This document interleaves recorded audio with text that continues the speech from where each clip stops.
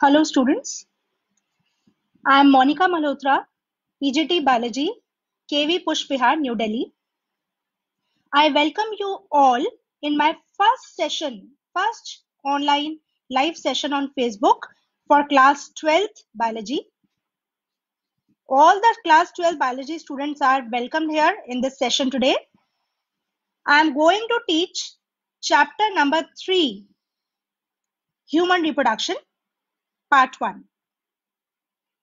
So in the earlier sessions, you have studied chapter 1 and chapter 2. Chapter 2 which included sexual reproduction in flowering plants. And today we are going to study the same sexual reproduction in human beings. Okay, as you know, human beings, they are sexually reproducing and viviparous organisms. What do we mean by viviparous organisms? Viviparous means which can give rise to, which give birth to the young ones. So we are viviparous animals who give birth to the young ones. Now the whole events of the life cycle of a human being can be traced into three parts. As you studied in first chapter, the life cycle of an organism is, it involves three phases. Pre-fertilization events, fertilization event, and the post-fertilization events. So I will summarize the whole thing in these three phases. First is pre-fertilization events. Hello everyone, I think everyone has joined. Yes, pre-fertilization events, it includes formation of gametes as you have studied in first chapter. Pre-fertilization, fertilization से पहले के events उसमें क्या क्या आता है पहला gametes का बनना दूसरा gametes का transfer होना so formation of gametes and transfer of gametes formation of gametes is also called gametogenesis okay तो gametogenesis होता है और फिर फिर क्या होता है transfer of gametes होता है this these two events occur in pre-fertilization events then after that occurs fertilization the next is fertilization events fertilization events में क्या होगा? Male and female gametes will fuse together to fertilize each other and that will give rise to zygote zygote which is अलर diploid cell okay अब जब एक बार zygote बन गया तो zygote बनने के बाद जाइगॉट की डेवलपमेंट होगी। और नेक्स्ट फ़ेज़ शुरू हो जाएगा। That is post fertilization events post fertilization events में क्या होगा? वो जाइगॉट का डेवलपमेंट होगा। अभी मैंने बताया कि जाइगोट एक डिप्लॉयड सेल है, ठीक है? Of course human beings are also diploid ठीक है? तो अब डिप्लॉयड जाइगोट से जो यूनिसेल्युलर नेचर का है, उससे मल्टी सेल्युलर ह्यूमन बींग कैसे बनता है? By the process of cell division and i think you all can guess which type of cell division will occur, which will not change the chromosomal number. एक diploid zygote से multicellular diploid organism बनाने के लिए जो cell division होती है that is mitosis okay and in biological terms we call it cleavage okay तो unicellular diploid zygote undergoes cleavage single cell zygote में क्लीवेज होती है, वो सिंगल सेल डिवाइड करके दो सेल्स बना देता है। दो सेल्स डिवाइड करके चार बनाते हैं। चार से आठ आठ से सोलह सोलह से बत्तीस। इस तरह से ये डिवीज़न चलता रहता है। और इससे जो इनिशियल एक सॉलिड बॉल लाइक स्ट्रक्चर बनता है दैट इज़ कॉल्ड मॉरुला वो सब हम बाद में डिटेल में पढ़ेंगे। मैं ब्रीफ इंट्रोडक्शन दे रही फिर फिर उससे ब्लास्टुला बनता है। ब्लास्टुला के बाद फिर ऑर्गन्स बनने शुरू होते हैं उसमें, ठीक है? और धीरे धीरे ये जो एम्ब्रियो है ब्लास्टुला की स्टेज में ये इम्प्लांट हो जाता है। कहा? यूट्रस में। यूट्रस में फर्दर डेवलपमेंट होगी एम्ब्रियो की तो ब्लास्टुला स्टेज इम्प्लांट हो जाएगी अटैच हो जाएगी जाके यूट्रस की इनर वॉल के साथ। This you have already studied in lower classes also about implantation implantation मतलब एम्ब्रियो का यूट्रस की इनर लाइनिंग इनर वॉल के साथ जाके इम्प्लांट हो जाना। इनर वॉल कौन सी है? एंडोमीट्रियम ठीक है? ओके तो अब इसके बाद एक बार इम्प्लांटेशन हो गई तो इम्प्लांटेशन के बाद जब तक वो फर्दर डेवलप होगा फर्टिलाइजेशन से लेकर फुल टर्म यंग वन बनने तक जो डेवलपमेंट होती है that is under the period called gestation period gestation period complete होगा। And finally parturation will occur. Okay, so parturation means the childbirth. So this is about the initial thing. After this uh, brief introduction, I will come to the first slide. We'll study about the male reproductive system. Okay, so in this, we'll study, in this chapter, we'll study in detail about the male reproductive system, female reproductive system, the menstrual cycle, the development of the embryo, and how the full term young one is produced and delivered. Right? Now, one thing is worth mentioning here that in case of human beings, Homo sapiens, the male organism forms the male gametes, that is the sperms. And the formation of sperm starts from the puberty of the human male and keeps on occurring till the old age of the human male. But the formation of ovum in the female human being, female organism, it starts at puberty, but it ends at a stage called menopause. Okay, so around 50 years of age, menopause occurs when the process of formation of egg or the female gamete ceases, it stops. So after having this background, we'll start with the detail of the male and female reproductive systems. Okay, so um, I'm not seeing much students have joined in.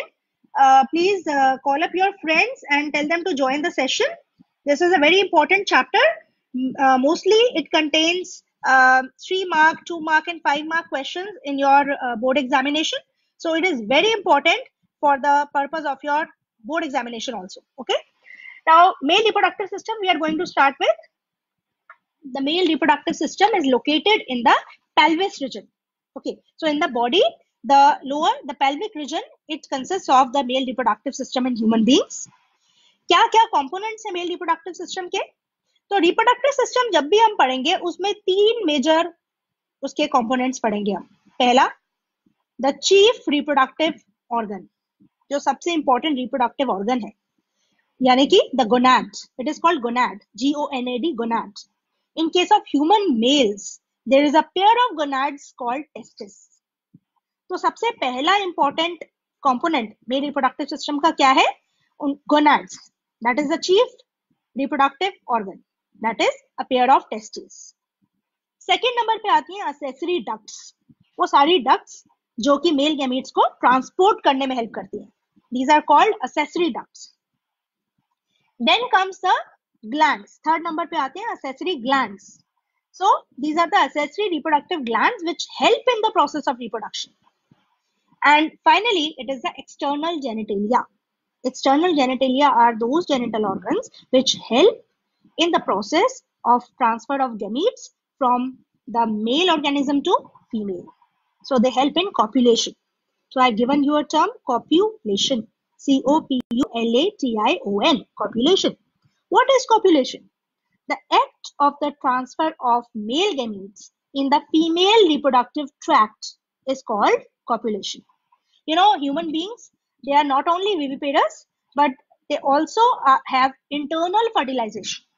इनमें internal fertilisation होती है और internal fertilisation होने के लिए जो mail gametes है उनको फीमेल रिप्रोडक्टिव ट्रैक्ट में इंसर्ट किया जाता है so that fertilization can occur in the female organism okay now the testis the chief reproductive organ where they are situated they are situated outside the abdominal cavity okay pelvis region में तो है, लेकिन abdominal cavity से बाहर situated होती है testis and they are enclosed in sac-like structure called scrotum. Okay? अब scrotum में टेस्टिस के लॉज्ड होने का बहुत इंपॉर्टेंट रीजन है. रीजन क्या है? The normal human body temperature is 37 degree, right? But the scrotum in which the testes are enclosed they help in maintaining the low temperature of the testes around 2 to 2.5 degree lower than the normal body temperature okay why this lower body temperature is required for the testes? It is required for the process of spermatogenesis. What is spermatogenesis? Spermatogenesis is the process by which sperms are formed in the testis. Sperms which are the male gametes. They are formed in the testis by the process called spermatogenesis. I had earlier referred a term gametogenesis. Gametogenesis मतलब gametes का genesis, gametes का synthesis. और gametes दो type के होते हैं, male gamete and female gamete. Male gametes are sperms and female gametes are egg or the ovum, right? तो male gametes या स्पर्म्स के सिंथेसिस को स्पर्मेटोजेनेसिस कहते हैं और फीमेल गेमीट्स या ओवम के सिंथेसिस को oogenesis कहते हैं राइट तो ये स्पर्मेटोजेनेसिस का प्रोसेस करने के लिए टेस्टिस को लोअर टेम्परेचर चाहिए two two two and half degree lower than the normal body temperature और ये लोअर बॉडी टेम्परेचर मेंटेन करने के लिए जो टेस्टिस हैं they are lost in a sac like structure called scrotum अब क्वेश्चन ये आता है कि क्या शुरू से ही right from the development of the embryo जब टेस्टिस का फॉर्मेशन होता है एक एम्ब्रियो में, क्या तभी ये स्क्रोटम में प्रेजेंट होती है? No. In a baby boy जब उस डेवलपमेंट हो रहा है उसका एम्ब्रियोनिक स्टेज पे है वो before the birth of the baby boy the testis are initially formed in the abdominal cavity पहले वो एब्डोमिन में डेवलप होती है। A pair of testis are developed in the abdomen but before the birth of the baby a few weeks before the birth of the baby the testis they descend they come down from the abdominal cavity till the scrotum movement करके वो स्ट्रोटम तक descend हो जाती हैं, वहाँ तक movement कर लेती हैं और स्ट्रोटम में डिसेंड हो जाती हैं।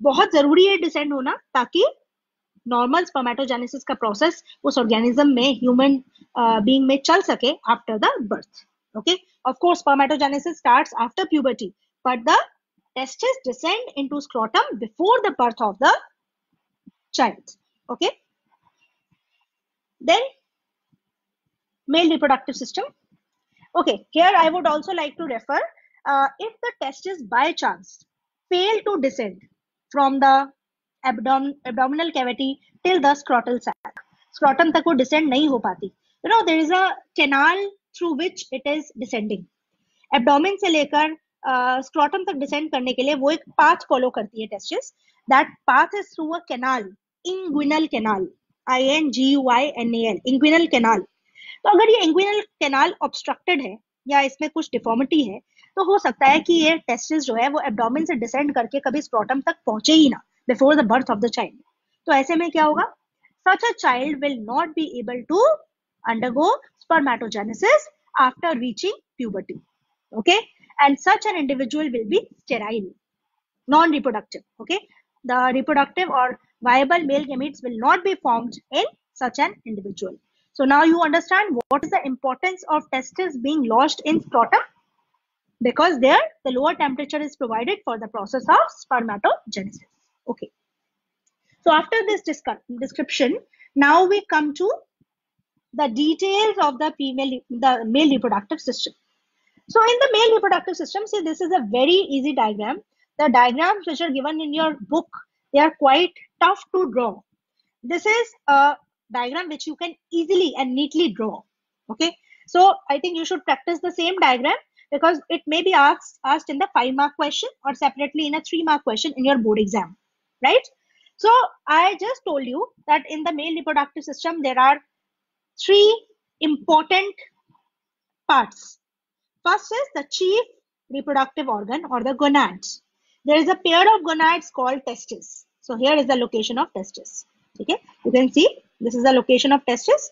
Then I told you next is the ducts, the accessory ducts. So accessory ducts are present within this testis and the last duct, the most important duct you can see this epididymis and the vas deferens. The whole duct system we are going to study ahead in detail. Okay. So after this duct system, accessory ducts, the third important component is the accessory reproductive glands. So how many different glands are present in male reproductive system? One is th these a pair of you can see seminal vesicles. See the labeling is there. Seminal vesicles. So a pair of seminal vesicles are there. Then a single median location. देख रहे हैं बीच में middle में है ये prostate gland which is a single gland it is unpaired and third accessory gland is again a pair of bulbourethral glands can you see these bulbourethral glands so three types of accessory glands are there seminal vesicles prostate gland and bulbourethral gland excuse me so after these three next is the external genitalia चार components पढ़े थे हमने पहला component the chief reproductive organ testis then accessory ducts जो testis में है उनका पूरा नेटवर्क समझाऊँगी मैं अभी आपको जो यहाँ दिखाई दे रही है, वो है epididymis vas deferens and third is the accessory gland seminal vesicle prostate and bulbourethral gland lastly it is the external genitalia external genitalia में क्या क्या आता है? This is the penis penis में आप ये देख सकते हैं the terminal end gland penis and there is a loose fold of skin over it which envelops it surround it it is called foreskin so this is called external genitalia which helps in the process of copulation okay so we'll see the detail of this uh, diagram testis from the testis you can see there is a cylindrical structure at one end of the testis epididymis इसे कहते हैं epididymis epididymis का ये head region है ये इसकी body है और ये इसका टेल रीजन है टेल रीजन से ओरिजिनेट होता है। ये एक लंबा सा डक जिसे क्या बोलते हैं? वास डिफरेंस ओके वासा डिफरेंशिया भी कहते हैं, वास डिफरेंस भी कहते हैं। देखिए, यहाँ से वास डिफरेंस स्टार्ट हुआ और ऊपर की तरफ़ it is moving upward towards the urinary bladder what is this this is the urinary bladder which comes under excretory system these are the two ureters जो यूरिन को लेकर आते हैं नीचे और ब्लैडर में ये यूरिन जो है स्टोर हो जाता है। Now this urine this excretory system you have studied before आपने क्लास 11 में भी पढ़ा है कि यहाँ ऊपर किडनीज होती हैं। किडनी से लेफ़्ट किडनी से लेफ़्ट यूरेटर राइट किडनी से राइट यूरेटर स्टार्ट होगा। Ureter will bring the urine in the urinary bladder from the bladder, this urine will be transported out. It will be given out through a duct called urethra. Okay? तो ये तो excretory system है। It is linked with the reproductive system in human males right तो आप ये देख सकते हैं, यहाँ टेस्टिस जिसमें स्पर्म्स का फॉर्मेशन होता है। स्पर्म्स जब स्पर्मेटोजुआ बन जाते हैं तो मूवमेंट कर सकते हैं तो वहाँ से ये एपिडिडमिस में ट्रांसफ़र हो गए। ट्रांसफ़र होने के बाद ये वास्ट डिफरेंस में ट्रांसफ़र हो गए। ट्रांसफ़र होने के बाद फाइनली ये ऊपर की तरफ़ वास्ट डिफरेंस जा रही है। यूरेटर के पीछे से घूमती हुई ये वास्ट डिफरेंस यहाँ आ गई right and you can see then it ये सेमिनल वेसिकल असेसरी ग्लैंड्स है। ये अपना सिक्रीशन वास्ट डिफरेंस में डाल रहे हैं। राइट प्रोस्टेट ग्लैंड ये भी अपना सिक्रीशन वास्ट डिफरेंस में डाल रहा है right then bulbourethral glands also put their secretion in the duct. And finally ये तीनों ग्लैंड्स का सिक्रीशन जब वास डिफरेंस के सिक्रीशन के साथ मिक्स हो जाता है तो ये आगे एक कॉमन डक्ट में चला जाता है। ये कॉमन डक्ट असल में यूरिथ्रा है, लेकिन यूरिथ्रा तो यूरिन को कैरी करने के लिए थी। अब इसमें जेनिटल फ्लूइड भी कंटेन हो रहा है, ठीक है? The semen along with the, the uh, sperms along with the secretion of seminal vesicles um, prostate gland and this uh, this uh, bulbourethral gland they are mixed into the uh, sperms brought by vas deferens so all this mixture together is transported to this common duct which is now called common ejaculatory duct. So this common ejaculatory duct takes away the whole fluid, the whole secretion outside through this male gonopore, male genital aperture, right? Through the penis. So this is the diagram. Now we'll uh, see what all is shown in this diagram. Male reproductive system. Now I hope it is clear to you. इसमें आपको male gonads दिखा रहे हैं testis एक pair है testis से sperms form होके epididymis में जाते हैं वहाँ से वास डिफरेंस में जाते हैं वास डिफरेंस से स्पर्म्स कैरी हो रहे हैं आगे जो वास डिफरेंस का सिक्रीशन है जिसमें मेनली स्पर्म्स है उसमें सेमिनल वेसिकल का सिक्रीशन भी ऐड हो गया प्रोस्टेट ग्लैंड का सिक्रीशन भी ऐड हो गया और बल्बोयूरेथ्रल ग्लैंड का सिक्रीशन भी ऐड हो गया और ये टोटल सिक्रीशन अब स्पर्म्स के साथ मिलकर कॉमन इजैकुलेटरी डक्ट से आउट हो रहा है and it is given out okay this is called the ejaculation of the the seminal plasma or the sperms. Right. Next, we come to the structure of testis. Now, we'll in detail see how the sperms are formed in the testis. कैसे sperms testis में form होते हैं of the, uh, the seminal plasma or the sperms. Okay. Now we come to the structure of testis. In adults, each testis is oval in shape with a length of about four to five centimetre तो आप देख सकते हैं इसकी जो length है ये four to five centimetre है आपको याद रखना पड़ेगा ये डायमेंशन और जो विड्थ है इसकी almost two two three centimetre इसकी विड्थ है राइट टेस्टिस को एंक्लोज करने के लिए कैप्सूल होता है and this capsule is a dense covering which is for the protection of testis अब इस डेंस कवरिंग में मेनली आप देख सकते हैं, दो पार्ट्स हैं इसके। इस लेयर को क्या बोलते हैं? Tunica. This layer is called tunica okay so this outer layer of tunica is called tunica मतलब layer outer layer is tunica vaginalis और जो अंदर की लेयर है ये इसे बोलते हैं ट्यूनिका एल्बुजिनिया तो टेस्टिस का इमीडिएट कोट क्या है? दैट इज़ ट्यूनिका एल्बुजिनिया और उसके बाहर एक और कोट है that is tunica vaginalis actually जो ट्यूनिका वेजिनेलिस है ये ये सर, ये पेरिटोनियल लाइनिंग है राइट right? और इसके अंदर की लाइनिंग जो बिल्कुल टेस्टिस को टच कर रही है टेस्टिस को एनक्लोज कर रही है that is tunica albuginea okay so these two layers form the outer dense covering of the testis. Now, each testis has almost 250 compartments. आप ये देख सकते हैं टेस्टिस का ये लॉन्गिट्यूडनल सेक्शन शो किया हुआ है। इसमें ये देखो कितने सारे सेप्टा हैं। पार्टीशन है, लिखा है सेप्टम ऑफ़ टेस्टिस ये पार्टीशन है इसके, ठीक है? और ये पार्टीशन की वजह से टेस्टिस बहुत सारे चैम्बर्स में बट गई है। ये कितने ऑलमोस्ट कितने चैम्बर्स होंगे? ऑलमोस्ट 250 चैम्बर्स 250 कंपार्टमेंट्स एक टेस्टिस में एडल्ट टेस्टिस में ऑलमोस्ट 250 कंपार्टमेंट्स होते हैं, जिन्हें बोलते हैं टेस्टिकुलर लोब्यूल्स देख सकते हैं आप लेबलिंग है ये? Testicular lobules it has not been labelled here तो ये मैं बता रही हूँ, ये देखिए, जिसको मैं लिमिट कर रही हूँ।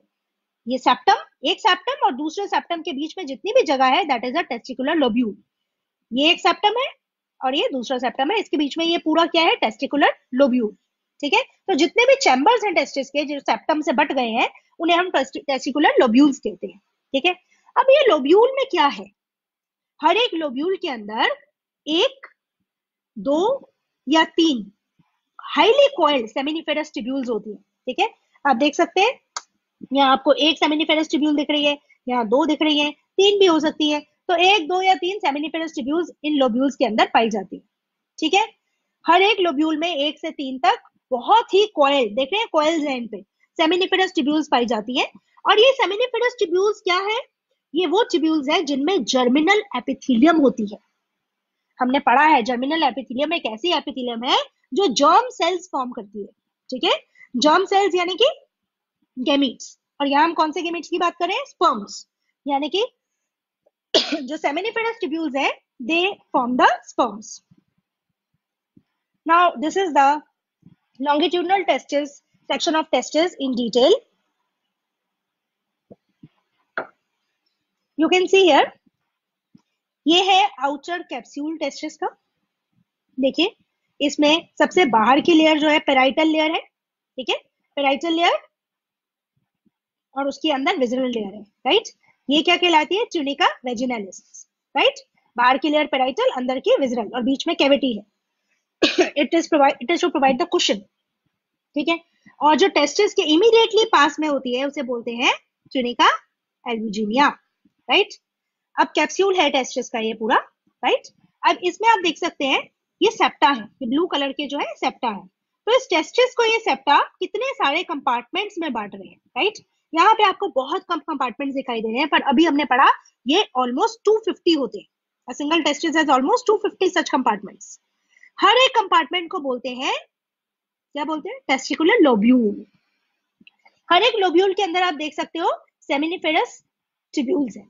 दीज आर सेमिनिफेरस टिब्यूल्स ये सेमिनिफेरस टिब्यूल्स के अंदर की जो लाइनिंग होती है, ये lining this is germinal epithelium okay और जर्मिनल एपिथिलियम के जो सेल्स हैं दे अंडरगो मियोसिस और मियोसिस अंडरगो करके वो क्या बनाते हैं? दे फॉर्म गेमीट्स और ये गेमीट्स बनने के प्रोसेस को बोलते हैं स्पर्मेटोजेनेसिस यानी कि सेमिनिफेरस टिब्यूल्स ही वो स्ट्रक्चर है, यही वो टिब्यूल्स है जिनके अंदर जर्मिनल एपिथेलियम होती है।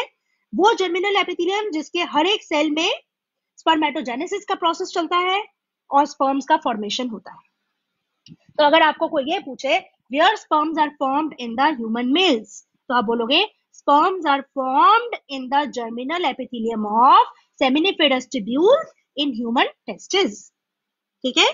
स्पर्म्स कहाँ बनते हैं? In the germinal epithelium of seminiferous tubules of human testis right अब जब एक बार यहाँ स्पर्म्स बन जाते हैं तो बनने के बाद वो ट्रांसपोर्ट होते हैं। ठीक है?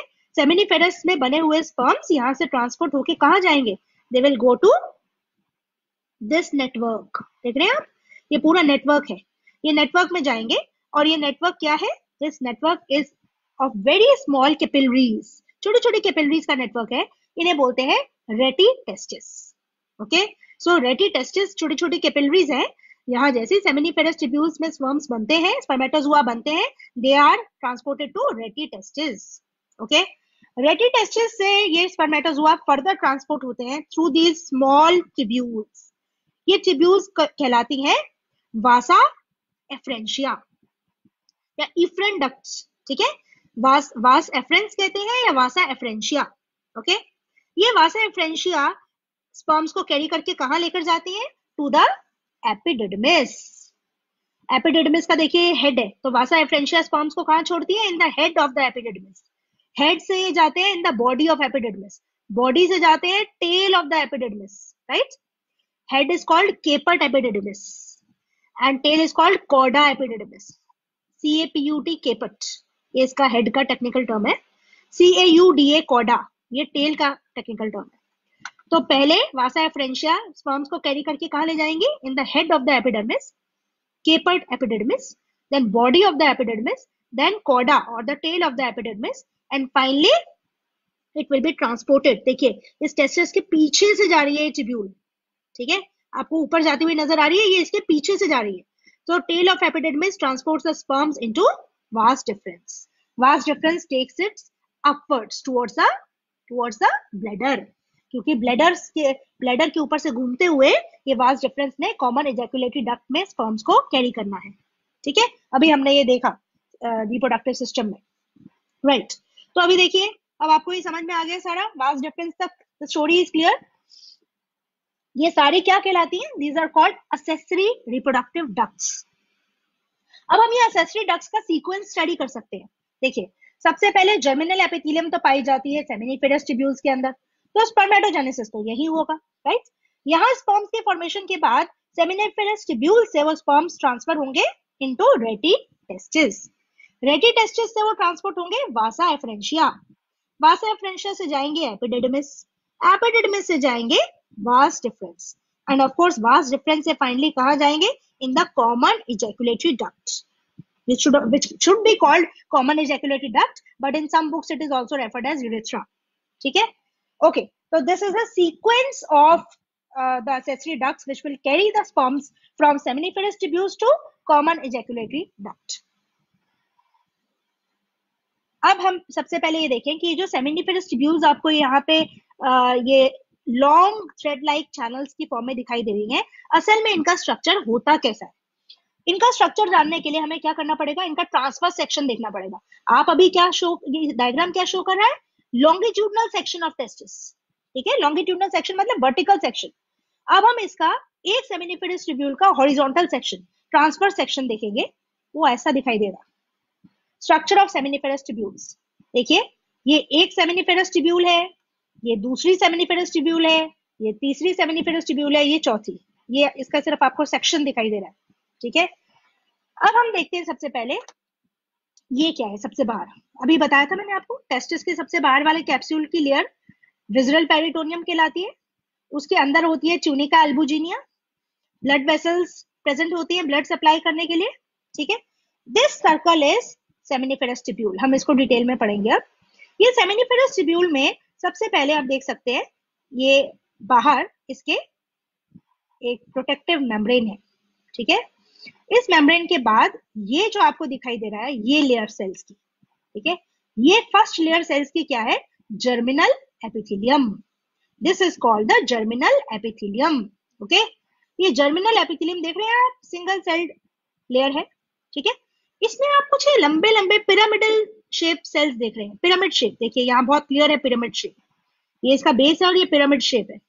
These pyramid shaped cells, they are called sertoli cells sertoli cells are also called nourishing cells काम क्या इनका? नरिशमेंट प्रोवाइड करना न्यूट्रिशन प्रोवाइड करना। किसको? टू द डेवलपमेंट स्पर्मेटोजुआ जो स्पर्म्स डेवलप हो रहे हैं वेरियस स्टेजेस में है स्पर्म्स उनको ग्रोथ के लिए डेवलपमेंट के लिए एनर्जी चाहिए। वो एनर्जी के लिए कौन एनर्जी प्रोवाइड करता है? Sertoli cells they provide the nutrients nutrition to the developing stages of spermatozoa right तो अब आप देख सकते हैं कि जो जर्मिनल एपिथेलियम है, इन सेल्स के अंदर कौन सा सेल डिवीज़न चल रहा है? मियोसिस वो आपको यहाँ दिखाई नहीं देगा। इसके बारे में हम डिटेल में स्टडी करेंगे जब मैं आपको स्पर्मेटोजेनेसिस का प्रोसेस समझाऊँगी। लेकिन यहाँ जो दिखाई दे रहा है वो समझ लीजिए। यहाँ जर्मिनल एपिथेलियम के सेल्स दिखाई दे रहे हैं। ये सेल्स मियोसिस अंडरगो करके बहुत सारा सीक्वेंस सेल्स का बनाते हैं। सबसे पहले जो इनसे सेल्स बनते हैं दीज आर स्पर्मेटोगोनिया ठीक है? देखिए यहाँ डिटेल में दिखाया हुआ है। ये जर्मिनल एपिथेलियम है। जर्मिनल एपिथेलियम में मियोसिस हुआ। सबसे पहले जो सेल बने स्पर्मेटोगोनिया स्पर्मेटोगोनिया के बाद स्पर्मेट सॉरी जर्मिनल एपिथेलियम के बाद स्पर्मेटोगोनिया जो है, और वो भी डिप्लॉयड ही होते हैं। उनमें अभी मियोसिस नहीं हुआ है राइट स्पर्मेटोगोनिया के बाद बनते हैं स्पर्मेटोसाइट ठीक है? प्राइमरी स्पर्मेटोसाइट्स भी डिप्लॉयड होते हैं, उसके बाद मियोसिस होता है, ठीक है? फिर सेकेंडरी स्पर्मेटोसाइट बनते हैं, फिर स्पर्मेटेड्स बनते हैं, ये हैप्लॉइड है राइट तो जर्मिनल एपिथेलियम के सेल्स डिप्लॉयड है स्पर्मेटोगोनिया भी डिप्लॉयड है, लेकिन सेकेंडरी स्पर्मेटोसाइट्स जो है, वो हैप्लॉइड हो जाते हैं। फिर स्पर्मेटेड्स भी हैप्लॉइड होते हैं स्पर्मेटोजुआ भी हैप्लॉइड होते हैं राइट तो ये सीक्वेंस क्या है इनका फिर? जर्मिनल एपिथेलियम से बने स्पर्मेटोगोनिया स्पर्मेटोगोनिया से स्पर्मेटोसाइट्स स्पर्मेटोसाइट से स्पर्मेटिड्स बने स्पर्मेटिड्स के बाद स्पर्मेटोजुआ बने ये सारा स्पर्मेटोजुआ फॉर्मेशन का प्रोसेस कहाँ चल रहा है? इन द सेमिनिफेरस टिब्यूल कहाँ है ये सेमिनिफेरस टिब्यूल ये है वो सेमिनिफेरस टिब्यूल इसी का ट्रांसफ़र सेक्शन आपने देखा ये राइट और एक बार ये सेमिनिफेरस टिब्यूल बन जाती है इसमें स्पर्मेटोजुआ बन जाते हैं तो they are carried to rete testis vasa efferentia epididymis Vas deferens, vas deferens carries it to the common ejaculatory ducts and they are given out from the body. Okay, so after this, next we come to structure of seminiferous tubule. अभी हम ये पढ़ चुके हैं, लेकिन फिर भी मैं आपको इसको थोड़ा सा और दोबारा बता दूँ। हर एक सेमिनिफेरस ट्रिब्यूल जो है, उसके अंदर it is on its inside by two types of cells it is line called male germ cells spermatogonia ठीक है, आप ये देख सकते हैं। ये है सेमिनिफेरस ट्रिब्यूल का जर्मिनल एपिथिलियम ये वाला। ठीक है? और जर्मिनल एपिथीलियम में जब सेल डिवीज़न होती है तो सबसे पहले क्या बनते हैं? पहली स्टेज कौन सी बनती है? स्पर्मेटोजेनेसिस में स्पर्मेटोगोनियम स्पर्मेटोगोनियम के बाद बने प्राइमरी स्पर्मेटोसाइट प्राइमरी स्पर्मेटोसाइट के बाद बने सेकेंडरी स्पर्मेटोसाइट फिर बने स्पर्मेटेड और फाइनली बने स्पर्मेटोजुआ आप देख सकते हैं स्पर्मेटोजुआ एक ऐसा स्ट्रक्चर है जिसमें ये टेल डेवलप हो गई है। उसका एक डिस्टिंक्ट हेड है टेल है। यही इसको मूवमेंट करने में हेल्प करता है। और ये स्पर्मेटोजुआ बनने के बाद ये तेज़ी से मूवमेंट करते हुए सेमिनिफेरस ट्यूब्यूल्स को छोड़ के रेटिटेस्टिस में चलते हैं। रेटिटेस्टिस के बाद ये वासा एफ्रेंशिया में जाते हैं, वहाँ से एपिडिडमिस वहाँ से vas deferens finally common ejaculated duct से they are given out they are ejaculated out okay तो अब इसमें मैंने आपको बताए थे सर्टोली सेल्स ठीक है? ये सर्टोली सेल्स है। पिरामिड शेप सेल्स होते हैं। बड़े क्लियर थे लास्ट डायग्राम में ये। देखिए सर्टोली सेल्स अब ये सटोली सेल्स के अलावा टेस्टिस में एक और टाइप के सेल्स होते हैं। देख रहे हैं आप? ये एक सेमिनिफेरस टिब्यूल है। ये दूसरी सेमिनिफेरस टिब्यूल है, ये तीसरी है, ये चौथी है। और इनके इन बिटवीन यहाँ क्या है? ये इंटरस्टिशियल फ्लूड है इंटरस्टिशियल टिश्यू है। इंटरस्टिशियल टिश्यू में प्रेजेंट होता है इंटरस्टिशियल फ्लूड और उसमें प्रेजेंट होते हैं इंटरस्टिशियल सेल्स देख रहे हैं आप ये? These all are interstitial cells interstitial cells मतलब जो इंटरस्टिशियल टिश्यू में प्रेजेंट होते हैं सेल्स ठीक है? अभी इंटरस्टिशियल सेल्स का एक और बड़ा इंपॉर्टेंट नाम है। They are also called Leydig cells क्या नाम है? Leydig L E Y D I G Leydig cells और इनका बहुत ही इंपॉर्टेंट काम भी है। ये लेडिक सेल्स जो है, बहुत ही इंपॉर्टेंट मेल एंड्रोजन हार्मोन को सिक्रीट करते हैं। Male sex hormone testosterone it is manufactured it is secreted by these interstitial cells, also called Leydig cells.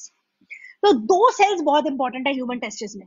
पहले तो है सर्टोली सेल्स पिरामिड शेप्ड होते हैं। And they are present in the germinal epithelium of the seminiferous tubule ये seminiferous tubule के इन होते हैं, अंदर प्रेजेंट होते हैं। और काम क्या है? नरिशमेंट प्रोवाइड करना न्यूट्रिशन प्रोवाइड करना। They are full of nutrients they provide nutrients to the developing spermatozoa दूसरे टाइप के सेल है लेडिक सेल या इंटरस्टिशियल सेल्स ये सेमिनिफेरस टिब्यूल्स के बाहर प्रेजेंट है। They are present between the seminiferous tubules in the interstitial tissue. And their job is to form the male sex hormone that is testosterone. Right? Okay. So after this, we come to the pathway for the passage of sperms many a times this question is asked in the board exam बहुत बार पूछा जा चुका है अब देखिए यहाँ पर एक फ्लो चार्ट की फॉर्म में मैंने पाथवे शो किया है ठीक है अभी पाथवे में आप देख सकते हैं किस तरह से जो स्पर्म्स हैं वो मूवमेंट करते हैं, किस तरह से वो सेमिनिफेरस टिब्यूल्स में प्रोड्यूस होने के बाद फाइनली यूरेथ्रा या कॉमन एजेकुलेटरी डक्ट तक पहुँचते हैं ओके तो अब इसके लिए पाथवे हम देखेंगे सबसे पहले। We can see seminiferous tubules where the sperms are formed, okay? After the seminiferous tubules, they are given to rete testis rete testis के बाद अब वो पहुँचे वासा एफ्रेंशिया वासा एफ्रेंशिया के बाद head of epididymis then the body of epididymis tail of epididymis वो सब यहाँ नहीं दिखाया हुआ, ठीक है? And finally from the duct of from the tail of epididymis they move to vas deferens okay vas deferens के बाद they are they move to the ampulla vas deferens में एक छोटा सा सैक लाइक स्ट्रक्चर होता है ampulla जो temporarily sperms को स्टोर करता है before they are given out in the ejaculatory duct तो उसके बाद एम्पुला में गया एम्पुला में जाने के बाद इजेकुलेटरी डक्ट ठीक है and they are given out from the urethra, right? So after this pathway for the passage of sperms, we come to the male accessory ducts. ये भी हम पहले ही डिस्कस कर चुके हैं एक बार फिर से देख लेते हैं कि इनका क्या सीक्वेंस है The male sex accessory ducts include retitestis, vasa efferentia, epididymis, and vas deferens. Okay. Seminiferous tubules of the testis open into vasa efferentia through retitestis.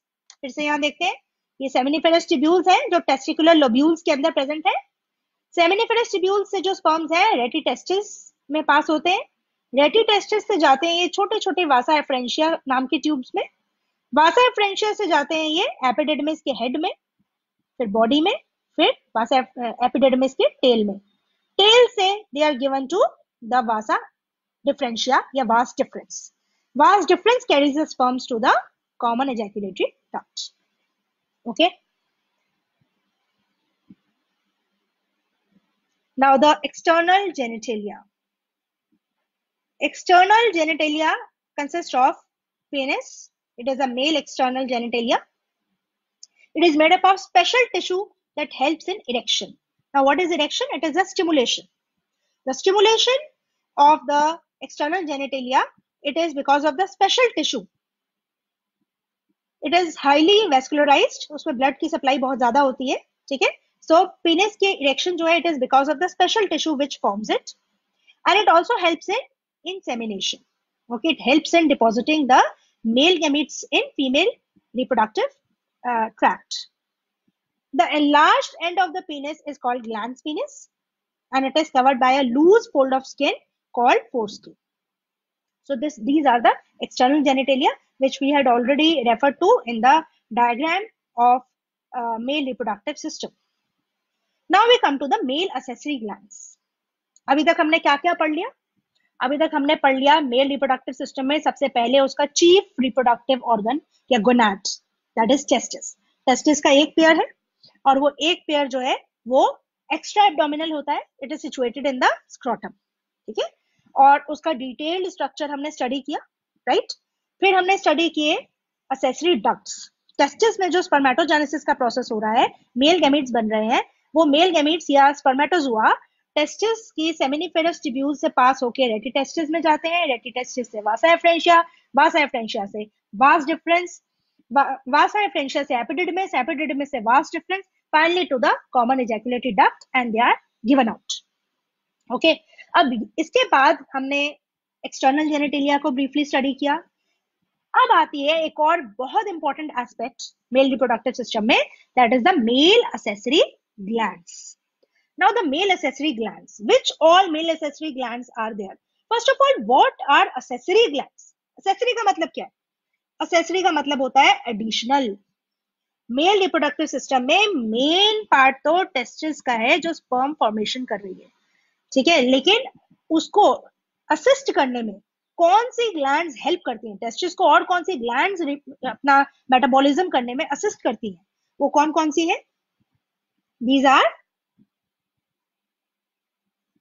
first of all paired seminal vesicles हमने सारी glands को diagram में देखा था, ठीक है? अब एक बार फिर से मैं इनको रेफर करूँगी। पेयर्ड सेमिनल वेसिकल्स इनकी लोकेशन कहाँ है? Posterior inferior to the urinary bladder. Okay? So, they are posterior inferior to the urinary bladder. मतलब यूरिनरी bladder के पीछे और उनके नीचे। सबसे पहले हम ये देखें कि ये कहाँ प्रेजेंट है। ये देखिए seminal vesicle they are present posterior inferior to the urinary bladder ये यूरिनरी ब्लैडर है और देखिए, इसके इंफीरियर इसके नीचे, ठीक है? इसके पीछे और इसके नीचे क्या प्रेजेंट है? Seminal vesicles a pair of seminal vesicles ठीक है? सेमिनल वेसिकल्स के बाद नेक्स्ट